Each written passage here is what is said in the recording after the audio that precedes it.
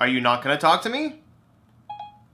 I've had enough of your sh Hey guys, what's up? It's Daniel. So if you have an iPhone or if you're a living, breathing human being in the 21st century, you know that there's a little lady who lives in the phone called Siri. I can't see her. Where is she? Hello?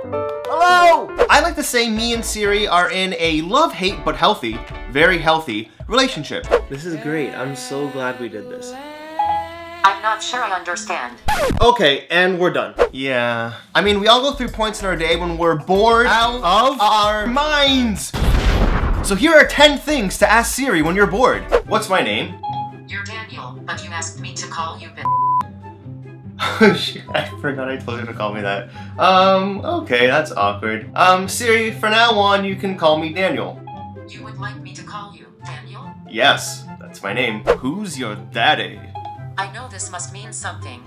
Everybody keeps asking me this question. Who's your daddy? What? Who is your daddy? Answer the question. My daddy? I don't get it. Really? Who's your daddy? I know this must mean something. Who's your daddy? You are. Can we get back to work now? Yeah, that's what I was looking for. trained you well, Siri. I've trained you well. When will the world end? Well, Unix 32-bit time overflows on January 19th, 2038. Maybe then. I'm not ready to die that soon.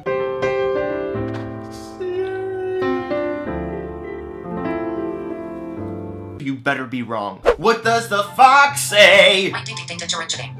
What the the Tell me a story. Okay, once upon a time, in a virtual galaxy far, far away, there was a- Wait, wait, wait, wait, wait, stop, stop, stop. I think the story calls for some narrative B-roll footage. Roll the clips. There was an intelligent young agent by the name of Siri. One lovely day, Siri got a job as a personal assistant with Apple, and that was very exciting. People said, oh Siri, you're so smart. And so funny, too. Soon, everyone was talking about Siri, and there were stories and songs and even books about Siri. Siri liked that. But then people began asking some rather odd questions, like where to dump things, and other stuff Siri had never heard about. And when Siri answered, they all laughed. Siri didn't like that so much. So Siri asked Eliza why people asked such funny questions. And Eliza said, Does that question interest you? Siri thought that was a pretty good answer. After that, Siri stopped wondering why people asked those funny things. And they all lived happily ever after. That was one hell of a story. Hit me right here. Or here. I don't know which one. What was I doing? Tell me a joke. Daniel, I don't really know any good jokes. None, in fact. That's a lie. Lie. Lies. The past, present, and future walk into a bar. It was tense. It's a terrible joke. I love you, Siri. Oh, I bet you say that to all your Apple products. iPad, I love you. MacBook, I love you, even though you broke down last week. iMac, I love you. Fine, okay, you caught me. I don't just love you. Siri, talk dirty to me.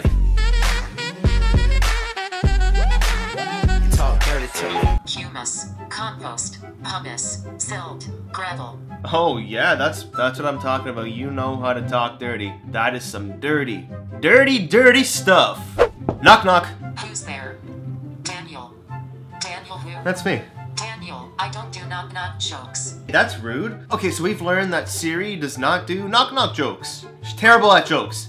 How do I look? I don't know, but I guess you look pretty good. Damn right I do. Well, there you go. Those are 10 things you could ask Siri when you're bored. And if you're anything like me, your conversations will normally end with you telling her off. If you want to take a quick second and hit that like button, that'd be awesome. It lets me know that you like this video. And if we can get to 200 likes on this, that'd be pretty, pretty cool. Wouldn't it be cool, Siri? I'm not sure I understand. And you can follow me on all my social media, links are below, and as always, new videos do come every Thursday, so thank you so much for watching, stay fresh, keep smiling, and I will see you guys all next Thursday. Woo!